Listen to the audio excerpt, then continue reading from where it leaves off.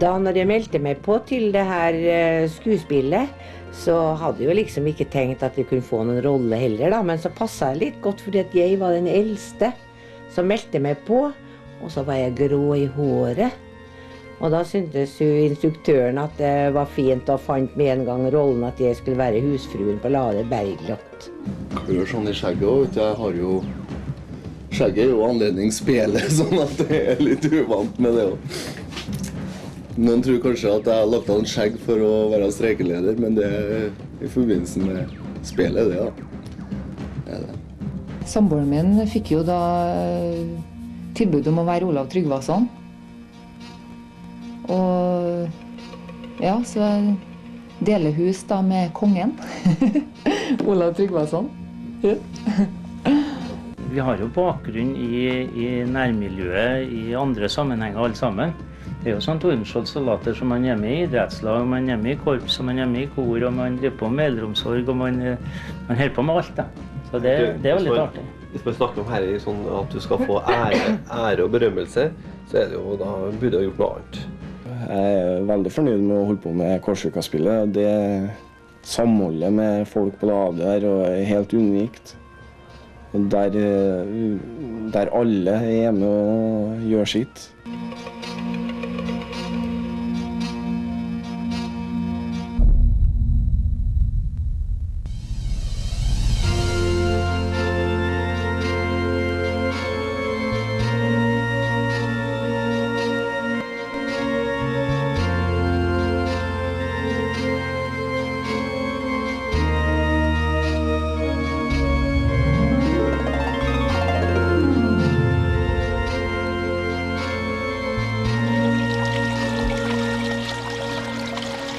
Jeg det er forskjell på hagearbeidere. Noen som jobber i hagen fordi at Det vil si ikke fordi at de liker det så godt, men fordi at de må, for de vil gjerne ha det litt pent omkring seg. Men med meg er det slik at jeg trives veldig godt med å holde på i hagen.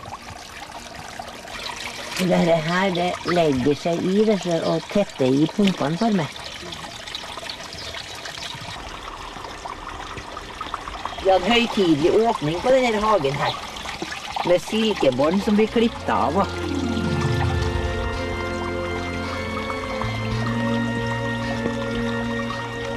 Å være en kristen og tro på Jesus Kristus, det er livet mitt. Og jeg syns at livet mitt har vært såpass vanskelig òg at det, det, har vært kjempefint å, å ha den troa. Det hjelper meg og styrker meg for hver dag. Bergte varta beina. Himmel av den rimkalle Jotunhausen, av blodet våre kjønn. I dag skal vi gjøre det størst blodet som er dugelig! I dag skal vi blot folk! På en måte så er det liksom litt sånn kanskje en samvittighetskonflikt for så vidt, fordi at det, jeg må jo være med på det spillet, men det, da prøver jeg å si til meg sjøl at det her er jo et spill. Det er ikke noe som jeg tror og mener. Men vet, jeg er jo med på en sånn blotescene, og det har jo delvis eh, syns jeg har vært litt vanskelig. I gammeltida den blota folk, Håkon. Vi gjør ikke sånt lenger. Det er gammeltida styrkeligg. Det vet du meg. Det som jeg har lært, tror jeg, gjennom det Korsvika-spillet, det er det at jeg er blitt friere. Fordi at de menneskene som er sammen med deg, de er fri, og, og det blir liksom ikke så flaut alt mulig, for vi må jo f.eks. skifte på de draktene og Ja, jeg syns jeg er blitt friere, og ikke så redd å snakke blant andre mennesker, f.eks. Det har jeg lært på skuespillet. Vi har det koselig, og noen ganger har vi med Jeg kan ha med en kringle som jeg har bakt, og andre har med kaker, og vi drikker kaffe og koser oss sammen. Det er ganske fin scene, ikke det. Fæl. Fæl, ja. Grusom. Jeg regner med at du blir litt skremt når du Ja visst blir det Ja, du vet, man er jo litt spent, men da er man eh, nokså konsentrert, da. Vi lærer jo det der å, å slappe av og sånn. Vi har jo lært oss det der med å finne fokuspunkt og være opptatt med det. Og, og bare liksom eh, la alt det andre være utenom oss sjøl, på en måte. Så vi lærer jo det. Vi lærer mye med ja, bruke kroppen vår. Og, fordi vi må jo gjennom en sånn oppvarming foran hver øvelse vi har. Så det er jo litt godt òg. Og instruktøren vil jeg si er helt fantastisk. Ja, meget dyktig, og hun er virkelig imponerende, for hun blir aldri sint. Hun må opp og opp og opp igjen med det samme ting, men hun blir aldri sint. Vi har øvd på det før. Bli på en måte den personen man spiller. Da er jeg Wergeljot, liksom. Og får hjem sønnen min og Ja da, så det Nei, det har gått bra, det. Håper det går like bra i år, jeg vet ikke.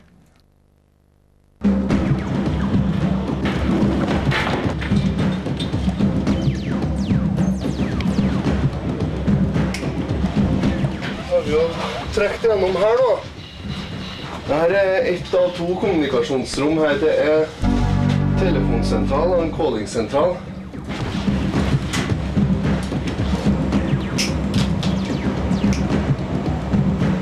Sånn. Merker jeg den med to, så jeg vet forskjell på den.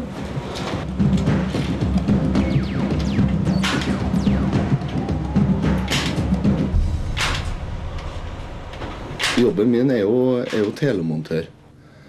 Og eh, det som jeg har jobba med de senere årene, det er jo da større kablingsanlegg for telefoni og data. Sånn strukturert kabling, som det heter. Og ja, det handler jo om å trekke kilometervis på kabel, og det handler om å, å terminere det her i endene og idriftsette det som skal gå på det nettet. Fireparskabel kategori 5, som det heter. Brukes til overføring av data. Jeg er tillitsvalgt. Jeg er tillitsvalgt eh, eh, på 50 da. Så eh, sånn som eh, det skal være, så eh, skal jeg bruke mandag, tirsdag og halve onsdag på fagforeningsarbeid. Og så skal jeg ta på meg monterbuksa og jobbe resten av uka med det. Jeg har jo faktisk to roller i spillet. Der har jeg også to roller. I de første to sekvensene så spiller jeg trellen Amund. Han er jo en grei kar. Han er jo trell på Lade og er den som er stor og sterk. Og eh, ordner ut når noen ting er galt.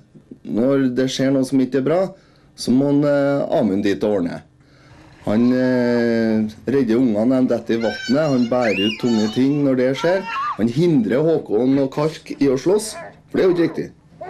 Det er egentlig en rolle jeg befinner meg ganske vel i. Det, eh, han, er, han er en litt naiv sjel, men han gjør det som må gjøres. Og eh, det, det han gjør, og de oppgavene han har, dem, eh, dem kjenner jeg meg igjen i. Som en trell på låde. Når det gjelder han biskopen her, så eh, det er jo en helt annen type.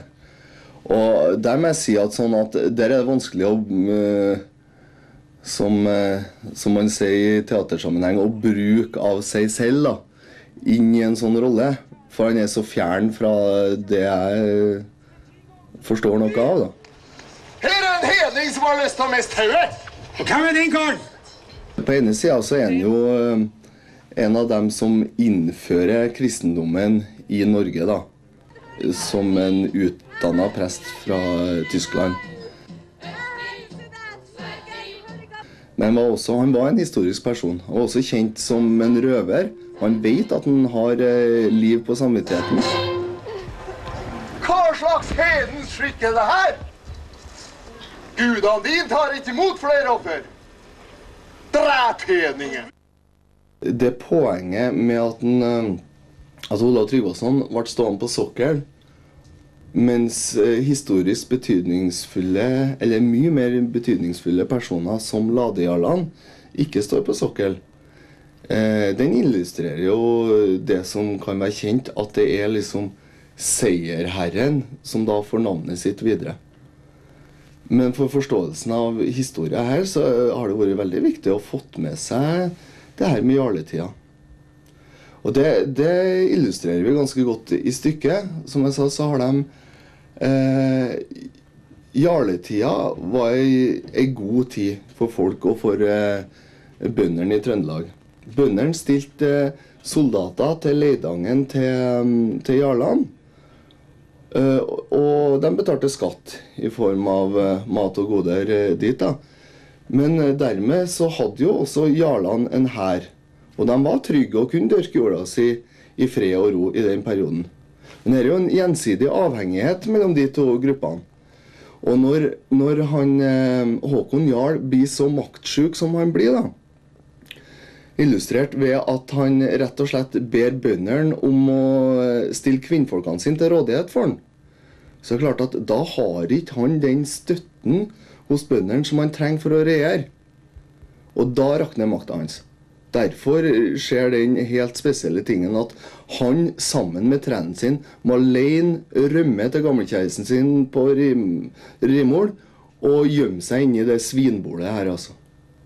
Og det er klart at Da er jo tida moden for en, eh, Ola Tryggvason, som kommer med en hær og den nye religionen som blir innført på den tida. Så er tida moden for han. Da kommer han inn.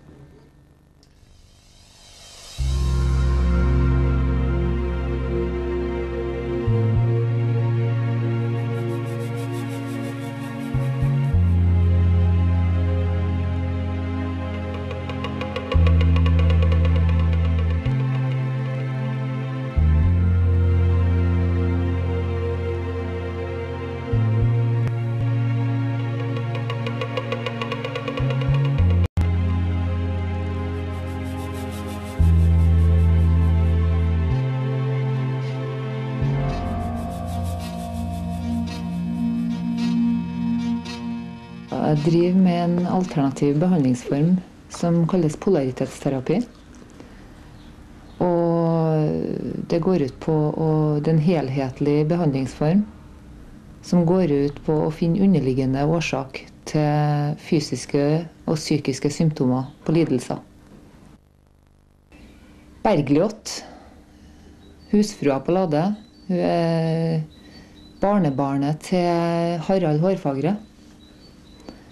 Så hun en sterk kvinne.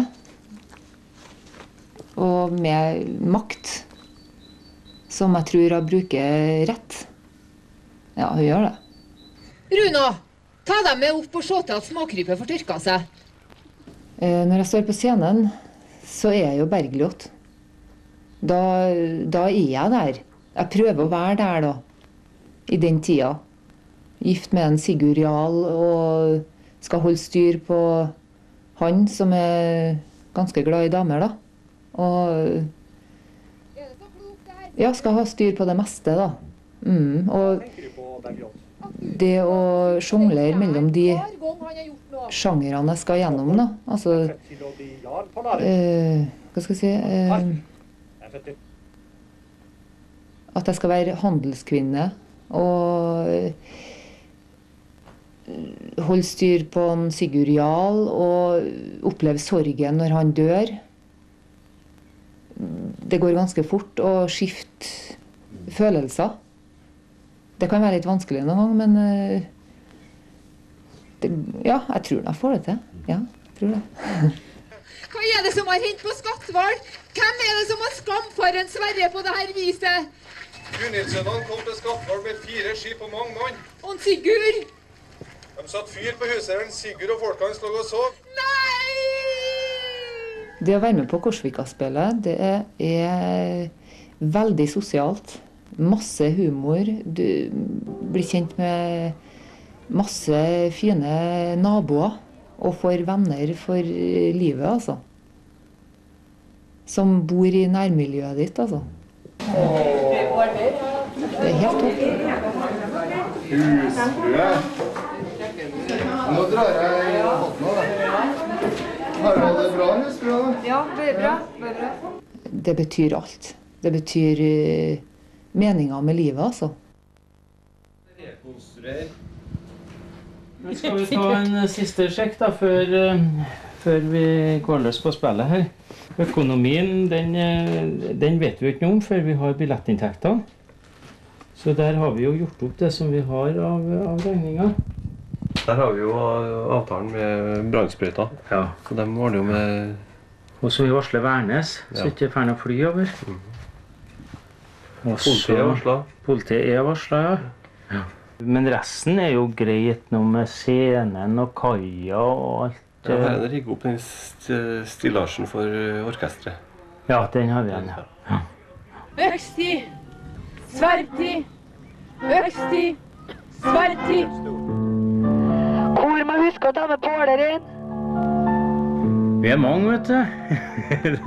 sånn er det. Vi, når det gjelder aktører, så er det ca. 100 rene aktører, skuespillere og, og slike. Og så har vi i tillegg har vi da et orkester som teller ca. 30 personer. Og et kor som er involvert her. Så, så til sammen med også de dugnadsgjengene og det her som jobber, så er vi ca. 150 personer, tenker jeg.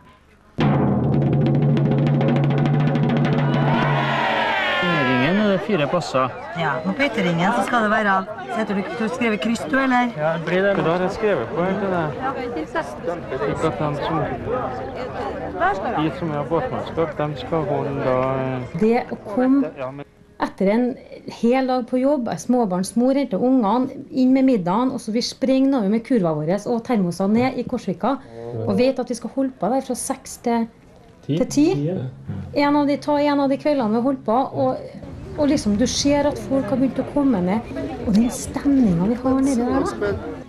Uff, dere er så heldige, dere som bor på Lade, som får lov å ha det sånn. Og så er spørsmålet, Hvor lenge greier vi å ha det eh, sånn på at det skal være et bydelsarrangement? Drivkrafta er, er nærmiljøet, og, og, og bakgrunnen er at man har et system for å administrere ting og få med seg folk.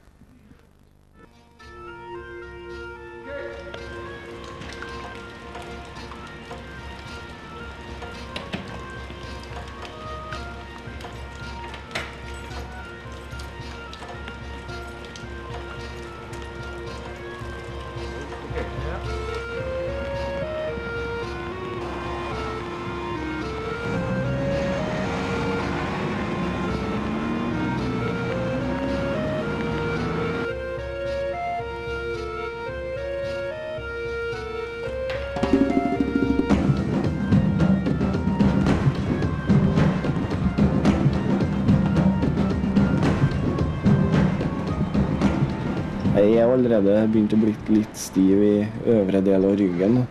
Og spesielt den ene armen kjenner jeg det i. Så det er viktig at jeg trener for å holde meg myk og bevegelig.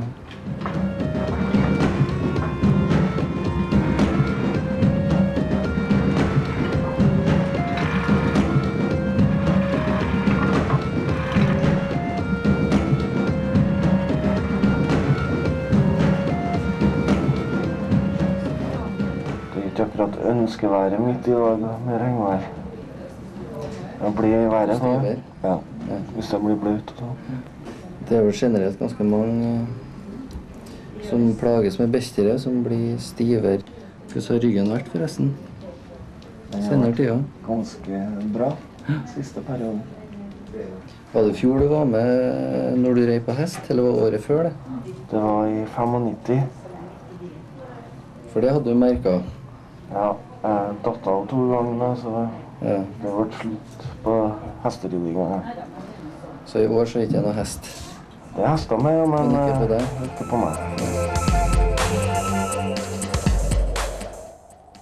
Rollen som KARK, det er ganske Det er en litt fysisk rolle. Det er mye mye Blir kasta mye i bakken, og, og så blir jeg jo Det går Det blir En KARK er ikke akkurat den som eh, får en lykkelig utgang på livet. Blir halshugd i i sluttsekvensene der. Eh, Kark er jo da trenen til Håkon Jarl, så jeg følger jo eh, han mye i stykket, da. Det er liksom vi to som eh, henger sammen, og det Korsvika-spillet skildrer jo livet dem to imellom. Da! Greia med ren håndmakt. Å ja vel, kom igjen, dæsken skal vi se hvor du har det. Ja, kom igjen, ja, kom, kom, kom, kom. Ja, kom, kom, kom. I eh, 92 så eh, ble jeg lagt inn på psykiatrisk. Jeg hadde gått i flere år og var egentlig, hadde problemer med depresjoner og, og angst og sånn. Så eh, da jeg ble utskrevet der, så ble jeg ufør. Og jeg følte vel egentlig at, jeg, at eh, det var litt rart å gå som 26-åring og, og, og være pensjonert for resten av livet. Så det var da en av hovedgrunnene til at jeg meldte meg på Korsvika-spillet, var liksom for å bevise for meg sjøl og andre da, kanskje at, eh, at eh, jeg dugde til noe mer enn bare å gå og slenge. Og det er godt å føle det at du faktisk klarer å, å stå foran et publikum og fremføre noe, og, som kanskje ikke alle gjør. da. Og, med, og samtidig tenke på at jeg en gang i tida har vært innlagt med så store problemer at jeg ikke klarte å omgås folk og, og hadde skikkelig problemer med det. da. Så eh, det er godt å, å føle det at eh, mm, det går så bra sånn. Jeg sovna. Han var der igjen. Svart og fæl. Han sa Nå er alle syndene stengt. Han Håkon vekk meg. Hva drømmer du nå, Kark? Da fortalte oss han. Kark, vi er feige nå.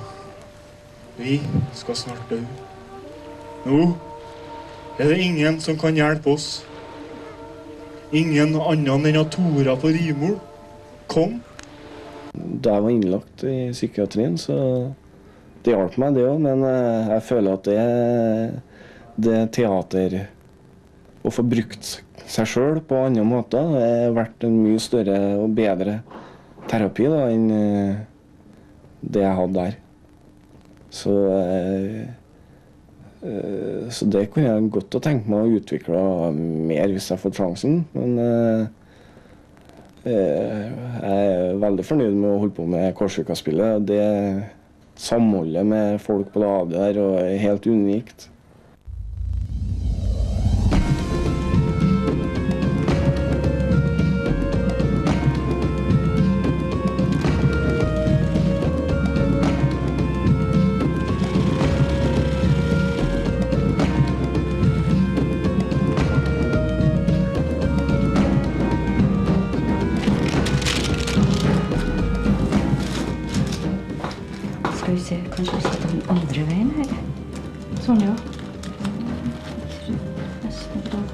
Stykker her.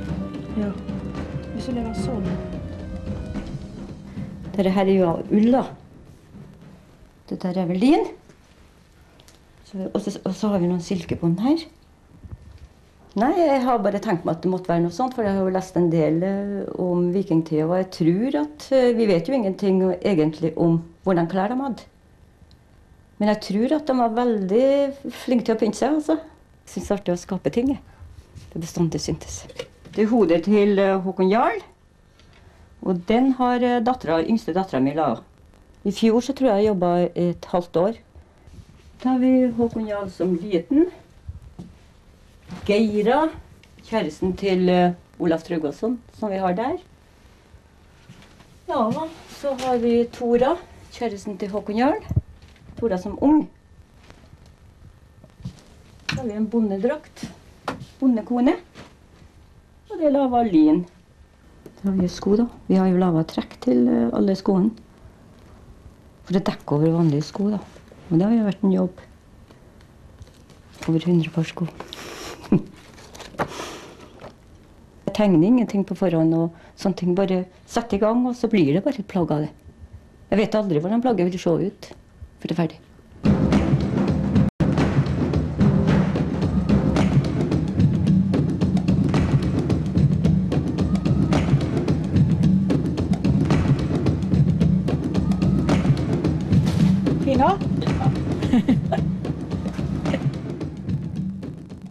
Kanskje litt nervøs i dag, ja.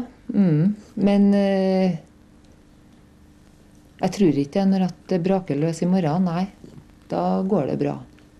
Ja, da er vi i streik fra mandag.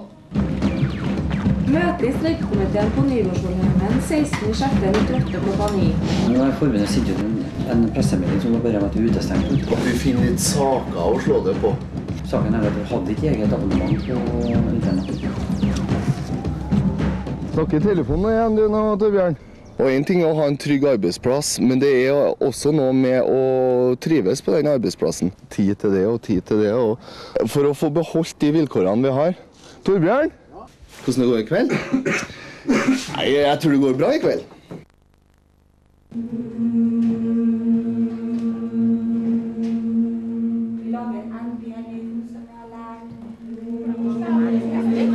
Men har du mer enn ett, så er det noe bruk.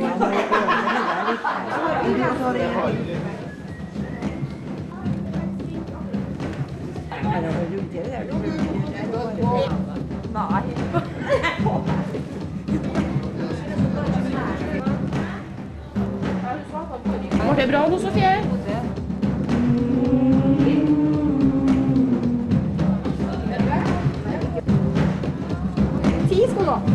Kanal 10 skal jeg være på. Satt sammen.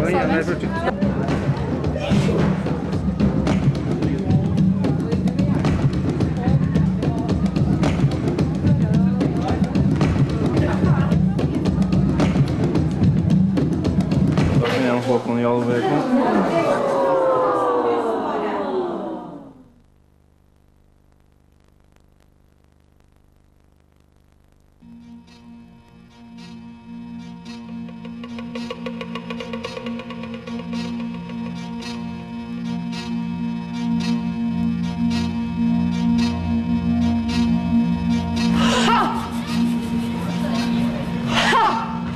早く外を見せてくださ。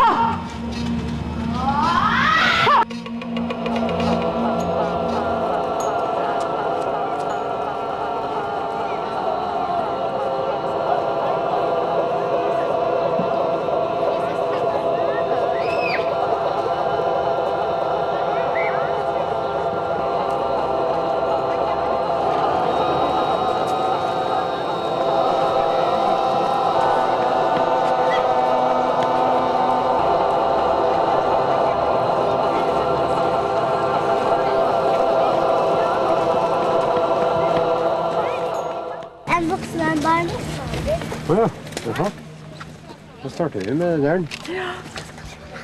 150, da skal vi ha tre. Sånn. Takk. Det var to. Så vi- Jeg tok suger sugerøret med òg. Så skal vi holde billetter. Der skal være Plura. Følg tilbake. Okay. Vær så god. Sånn. Og der. God fornøyelse nå. Takk.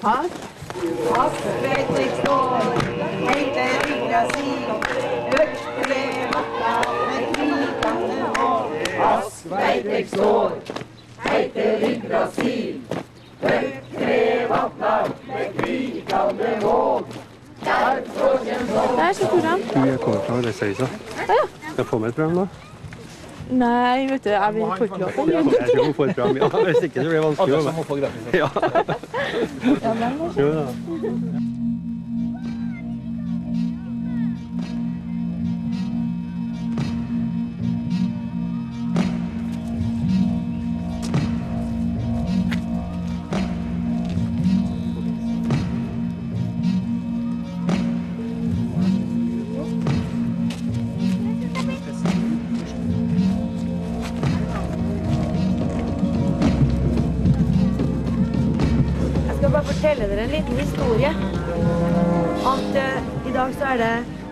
båter her. For båt nummer to fikk ikke noe vind, så de har rodd fra Stadsbygda og hit. Det er sant. Og det er det vi skal gjøre i dag. Vi skal jobbe helvete av oss. Tvi, tvi. Vi skal gå i gang presis 19.00.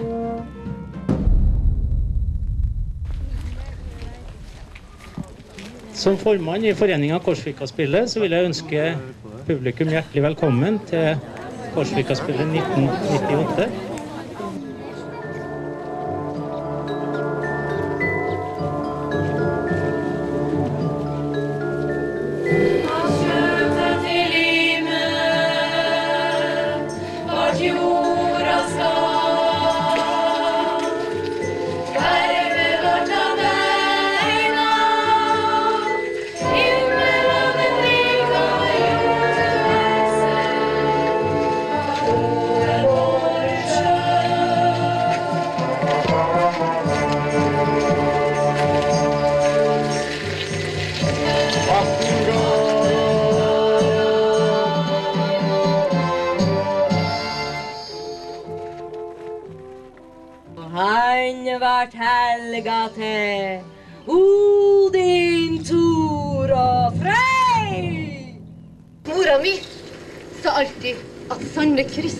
har træler.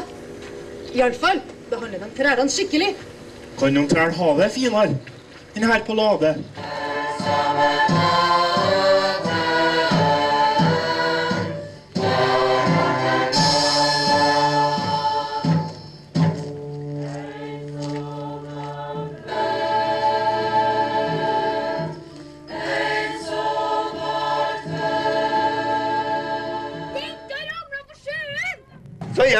Hjelp gutten å få henne opp, da.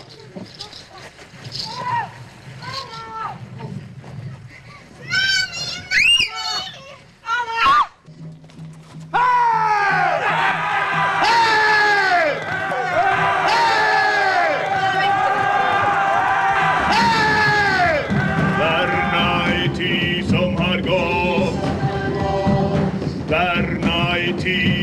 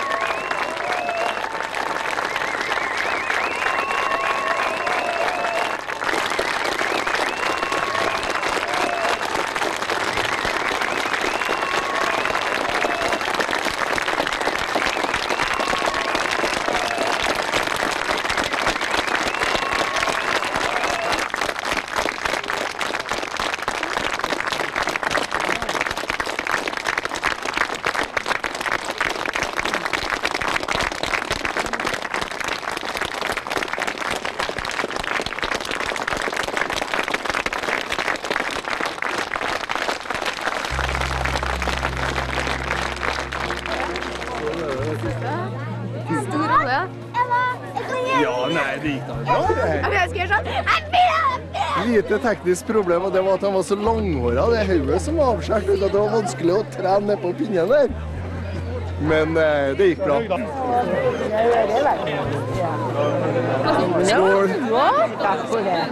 Hedninger og kristne alle.